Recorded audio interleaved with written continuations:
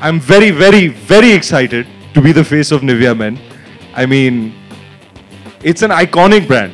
You know, I would not choose any other word other than iconic.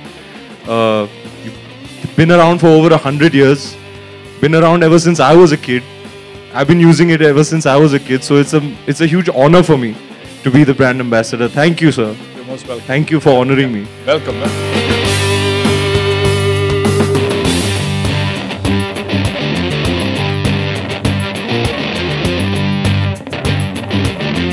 I have uh, the blessings of everybody, the love of everyone.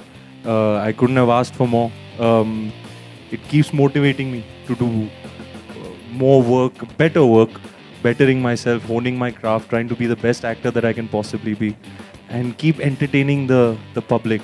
You know, as much as I can. I feel like that's my calling in life to be an entertainer, to spread love.